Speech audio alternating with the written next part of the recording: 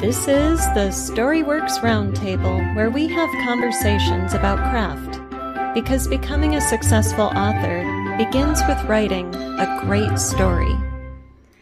Hello and welcome to this week's Storyworks Roundtable. Today, Robert, Carlee, and I are talking about getting the emotional pull on your reader that you are striving for when you craft your scenes. I've been I've been seeing writers struggling with this in the manuscripts I'm currently editing and coaching on and I know for me as a writer I can be so focused on the crafting part that I don't feel what I am trying to evoke in my reader through this crafting process. It's like I'm a step or two removed. You know, I'm on the wrong side of the prose to actually feel it myself. So, um, is this something you struggle with, and do you have any strategies that you use to help with this process? Uh, I have a good cry when I read my first draft and realize how crap it is. Not that and kind of emotion, Robert. That, oh, right, okay. right, right, right, right, right. No, no, no. The emotion you want to create. Oh, right, right. Oh, uh, yeah. In no, the, reader. the reason I say that is because you, when you, when I, oh, I've spoken about this before. When I write, I it, stuff happens in my mind so fast that the words on the page skip too many things and so there are giant leaps in, in emotional states that I only spot when in revision. Um, uh, and, and I've learned to live with that. I've learned to not agonize over word choice in first draft and, and so, okay, look, I've used a really crappy verb there and, and I've just thrown in an adverb in to try and make it stronger, whatever. You know, I'm just going to bash it out and, and do the, you know, on that one extreme of, you know, do the vomit draft. Um, and what I've often found is coming back to it, not just that I've used weak sentence construction, perhaps, which is you know at the granular level, but in the overall level, I've had characters react way too fast, mm. um, and you know emotions don't. I mean, somebody can be angered instantly, but they don't let go of it instantly, um, and so I think some of that finessing for me comes with revisiting as you said, Alida, from the reader's point of view, where you're digesting it as opposed to spewing it out, perhaps to mm-hmm. continue with my with my, uh, my intestinal metaphors. yeah, I love that you said you sometimes have your characters react too fast, Robert, because I've noticed in some of the manuscripts I'm working on that the writer might have all of the right elements in the scene, but they need to be reordered or restructured or yeah. Spread yeah. out more, you know, and so you need to lay the emotional groundwork for the reader and you need to create a build or a simmer to then get that emotional payoff not only in your character to give it the sort of oomph or punch that it needs to affect the reader, but also to get the reader um, thinking about this uh, quite a while ago, we did an episode on that TED talk from the Pixar uh, yes. artist, right? And he says, give two plus two, don't give four. And I think if we rush to the conclusion of the scene or to the emotional payoff, we're giving them four. Like, here's this point, here's this point, here's the reaction.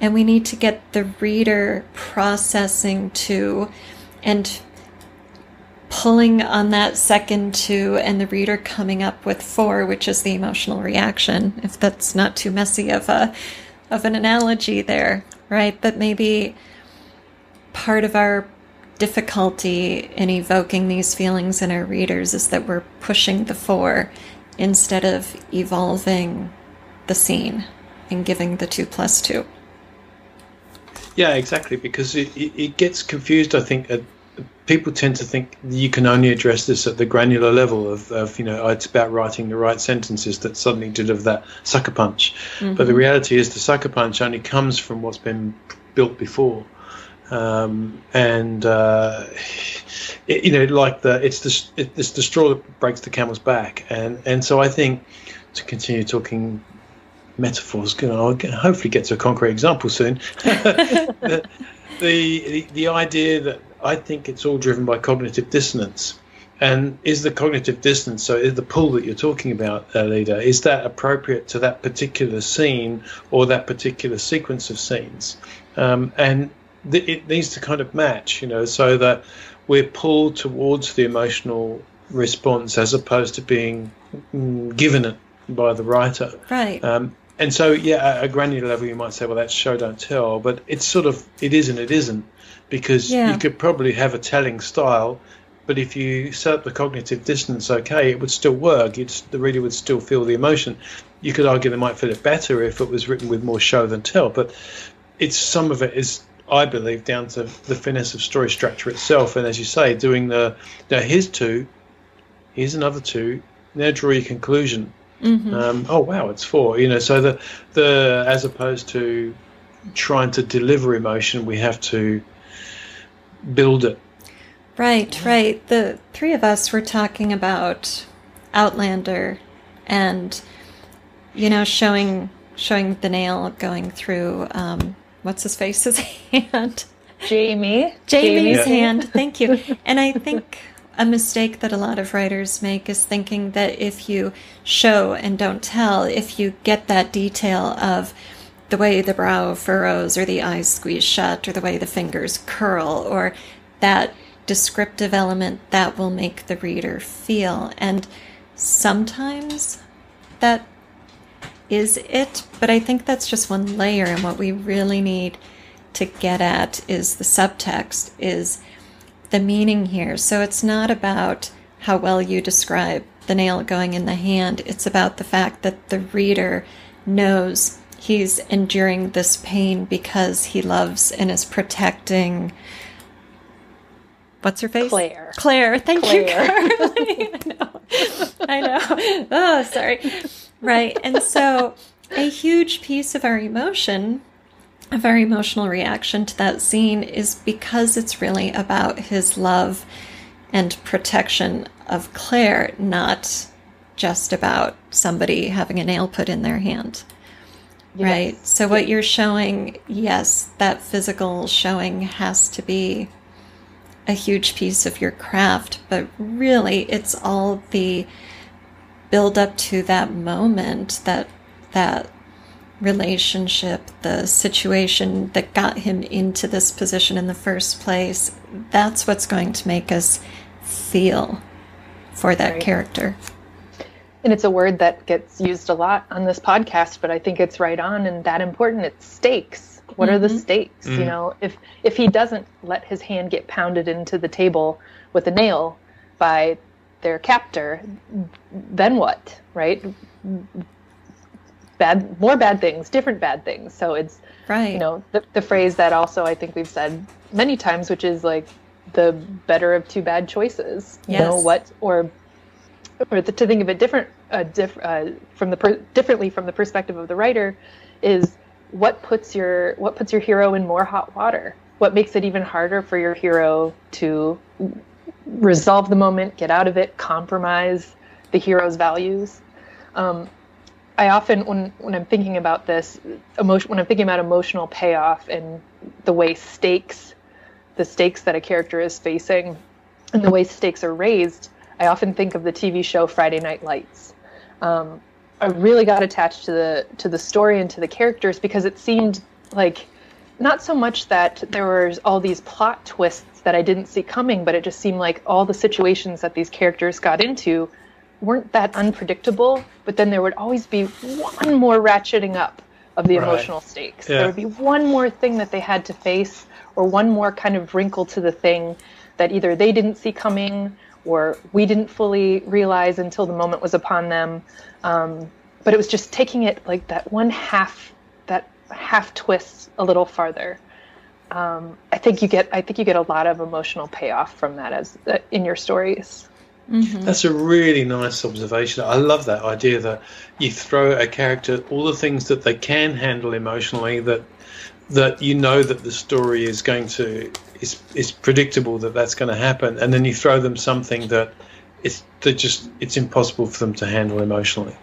Um, and that can only come from what you set up for them as a character. And and from a human psychology point of view, emotion has n- got nothing to do with the senses we feel in the moment. It's triggered. It's mm. it's from something in the past which we may or may not be even cognizant of. So the more that that resonates with who your character is and, and what they're dealing with, and it could be a bombshell or it could be something subtle, but it's an emotion is evoked by some something that's some feeling of or cluster of beliefs or a, as you said Carlee a sense of value or something that you know that evokes some kind of feeling response in in their mind and body so it's a it's an unusual thing to have to describe actually. Because you know you know we don't necessarily walk around our house and say you know the I'm feeling quite nervous and, and you know my hands are all sweaty and um, I'm just I can and my legs won't stop moving and no you go you know you walk out into the kitchen you go so what's up you know, you know it's just right. it's there's there's the subtext of emotion is such a subtext that then bringing it out and describing it risks spoiling it. Mm-hmm. Mm-hmm. Yeah, yeah, it does, and that's such a great point to add to everything we've just said because if a writer relies on describing what the character is feeling, that's, you know, unnatural, right? So then a next level of craft, maybe a step up, is describing the character's reaction to what he's feeling. So maybe the hand jitters while he's pouring coffee, or maybe he snaps at his wife. And that's all, you know, a useful piece of the action. But the way you make the reader care about the fact that he's nervous is you lay the groundwork of, as Carlee said, what's at stake.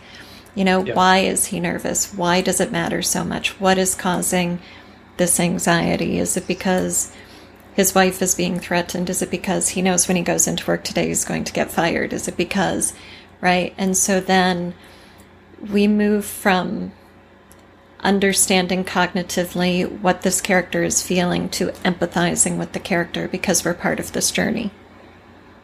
If you're listening to this podcast, you are probably a writer and you've maybe heard me talk about the Storyworks reading series. It is the new branch in the Storyworks family tree. It is a literary journal podcast. That's right, a hybrid, a literary journal for your ears with a print anthology at the end of the year of the best of the podcast. I am open for submissions and I want to see your best prose right now. Get it to me before the holidays, people. I am taking both fiction and creative nonfiction. You can read the guidelines and submit your work at storyworkspodcast.com slash submit. What are you waiting for? It's time to see your stories published and sit on the other side of this microphone from me. Have a conversation about your storycraft. Right. So yeah. So if you connect the emotions directly with the stakes, which I mean, we would probably unconsciously naturally want to do anyway. But it's when they're mm-hmm. disconnected is is then when we read a book and we say, you know, I couldn't stand that character. They were so whiny. And it's mm. because their whininess made no sense to the story. It just was something that the author had chosen as some way of characterization. Whereas if the whininess you could see was digging this character into a deeper hole that you know you, you felt for them and, and yet they couldn't escape it, and because it it it, uh, it went to the stakes then that would make a lot more sense mm-hmm. so it's emotions for you know don't put emotions in there for emotion's sake just because right. you want to make people human right. yeah that's a great point i think also even if the situation that's happening in the story isn't relatable like it's something that you have never experienced. You don't. It's not something you have to ex- have experienced in your life, but it speaks. I think it must for for for um, emotional impact. It must speak to something that we've all experienced. Like, uh, let me give a concrete example. Um, I'm reading the book Circe right now, which is um, taking a particular character from the Odyssey and imagining part of that story from Circe, from her perspective. Um, I'm very early in the book, so I can't give you a nice, you know, how this all works out. But I'm I'm feeling connected to this character, and things are starting to happen. And she's she's a god in in Greek mythology, or kind of uh, related to a god, uh, a demigod. And I have no experience as a demigod, but what I do have experience with, where I relate to her, is rejection she's rejected several times early in the story in high stakes moments.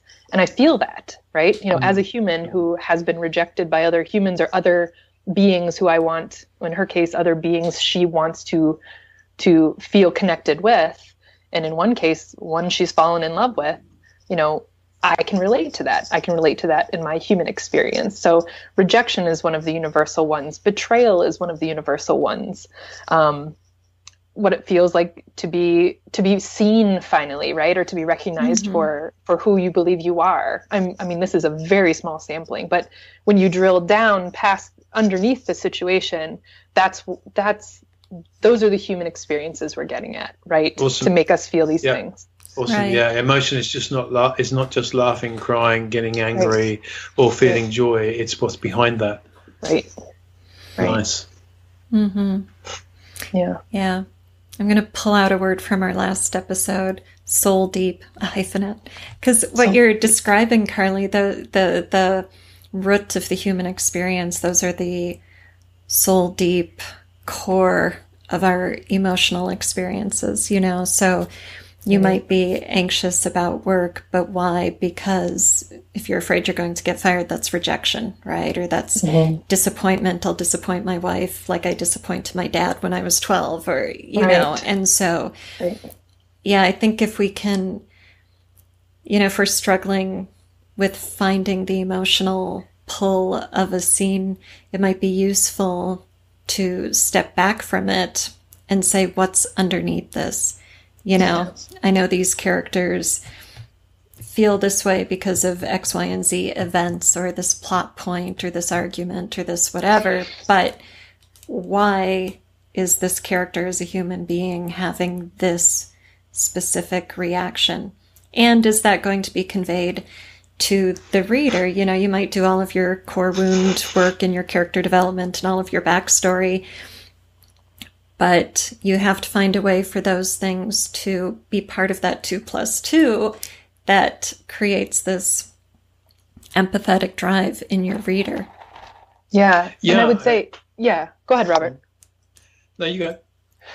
And I would say, be careful not to name it, right? Yeah, yeah. Because I think I think you I think you really, you know, if I if if in this Circe moment and she she feels this this soul deep rejection, if the author had said, and then the soul deep rejection ripped through her guts like no you know like that's that that's i think where we come back to you know the the you know the classic showing and not telling. Show us show us and make us feel the rejection. And maybe you the writer you the author know rejection mm-hmm. is what's at play here. Right. but your reader if you if you execute it your reader will know too. Right. And that's the excuse me the layer of subtext that is even below showing you know, if you've got telling and then yes. showing, and then there's the subtext, which is the unstated but nevertheless conveyed. Yeah. Ooh, good definition. Thank yeah, you. and and the um, you know, we've always done the classic show don't tell thing. It'd be like Shakespeare coming on stage and saying, "I just want to pause this here. The reason that King Lear is acting this way is because way back, you know, when he was seven, is you know, and it, it, that's what you risk, isn't it? By both naming the emotion, or even then saying, you know, um, Robert had has such a hard time with relationships ever since he was eleven, and his mum and dad split up. Blah blah blah blah blah. We just don't need to know that. Mm-hmm. Right. You know, you right. don't need to have the authorial stamp coming in because it robs the emotion. It's as you say, Carlee. You don't want to be told it's rejection. You want to feel it. Right. Mm-hmm. Back to the back to the Catcher in the Rye. If Holden Caulfield had told us on page one that he's really broken up about his brother and he's having a hard time. I mean, it'd be one page, right? Right, or like, the rest right. of the story. Right, That's it there. Right. There's no right. Then what's the point? What's mm-hmm. the point? You know, my we brother died. I'm having a hard time. Right, I'm having a hard time. Life might be empty. Bye. The end. You know, yeah, the end. It's uh, so. Catcher in the eye on Twitter. Right. There's the new handle, Robert. You start it. Oh, yeah. Do you, you know what I think it's even harder to do? Wait, may I add one, one thing? I think it's Uh-huh. even harder to do with positive, like with happy emotions and positive emotions. You know, Mm, like right. what did I name? Rejection, loyal, or Right. um, betrayal, despair. That's a new one. But but what about you know what about joy? What about elation? What about um, yeah, I think I said feeling seen and feeling like you're recognized for who you are. I mean, how I, I think even those, um, it takes a lot. You know, like that takes that takes a lot of soul digging. I think to well, what does, uh, how are the stakes such that we know when our character has? I mean, I think we do know in the story when our character gets to those, to gets to that to that point and would feel that way. But how do you make the reader feel that way? I feel like it might Mm. even be tougher with the with the happy Mm. stuff. Mhm. without sounding cliched or Definitely. Yeah, yeah, yeah, and and reductive. you know? Yes. And I don't think we write the happy stuff nearly as much as we write the unhappy stuff because even if you look at a happily ever story, happily ever after story like a rom-com, there's the comedy element. So there are always going to be foibles and obstacles or pratfalls or so there are still moments of maybe not tragedy, but missteps, embarrassment, um, you know, missed opportunity, maybe even shame if you're going a little darker at some moment. So we still have shades of the negative aspect of the human experience that creates the journey where the happily ever after is such a big payoff. Hmm. Right? Yeah. Because if Yeah. everything were puppies and daisies and then you had a big wedding, where's the story? right right it's it's unearned at that point right yeah yeah mm-hmm. the happy ending and the emotions that come with it are yeah they're not earned. Right. Right. So even in happy stories, we don't have a story without obstacles to be overcome, however lighthearted they may seem. sure This Yes. has been our age-old discussion, isn't it? You know, that it's not a story unless there's conflict. So, oh yeah Right. Right. Indeed. it's it's the one it's the one page catcher in the rye otherwise that's right. yes. Bro's dead, and it screwed me. and it's screwed me